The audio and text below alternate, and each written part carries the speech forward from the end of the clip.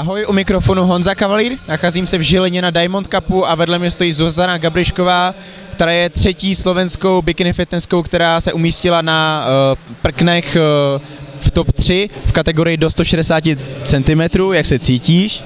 Ďakujem pekne za opýtanie, cítim sa výborne, som veľmi šťastná, že sa mi podarilo toto umiestnenie, je to vlastne môj prvý takýto väčší úspech, ktorý sa mi podaril.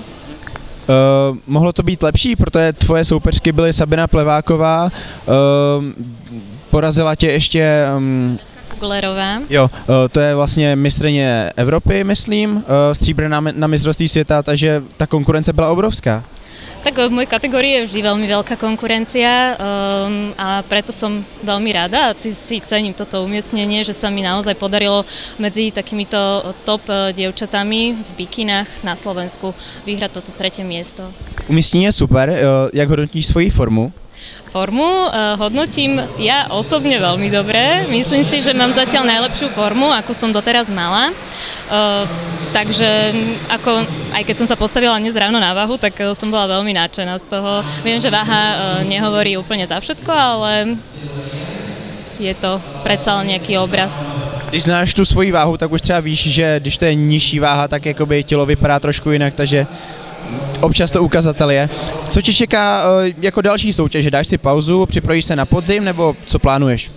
No čakala som, e, ako dopadne táto súťaž, nakoľko teda myslím si, že som dopadla fajn, tak e, chcela by som sa pripraviť ešte na Olympiu v Španielsku, ktorá má byť 10 až 12 jún, tak myslím si, že teda ešte potiahnem. Zvládneš to, protože určitě si teďka unavená, forma je skvělá, takže dva, tři týdny, dva, dva, dva týdny do soutěže, pak zase super kompenzace. Zvládneš to teďka nejíst žádný sladkosti, pizzu, nebo budeš si moc dopřát?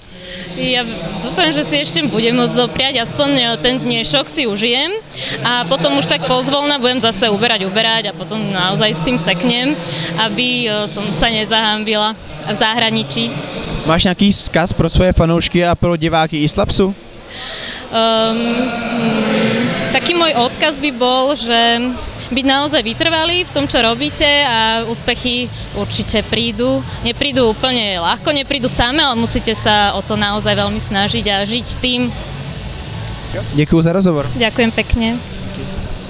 Ahoj, u mikrofonu Honza Kavalír, nacházíme se v Žilině na Diamond Cupu, eh, druhý den neděle, vedle mě stojí Veronika Guljašová, které se asi 15 minut zpátky podařilo vyhrát kategorii do 169 cm bikini fitness.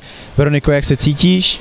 Ahoj, tak cítim sa výborne. Každopádne eh, nečakala som to absolútne, takže sa veľmi teším naozaj. Po tej nevydarenej Európe bolo to také zadozučenie na to všetko, takže som rada, že som robila nejakú takú, dá sa povedať, nápravu. Takže sa veľmi teším, že som ukončila práve túto sezónu a zlatým miestom, takže sa teším veľmi.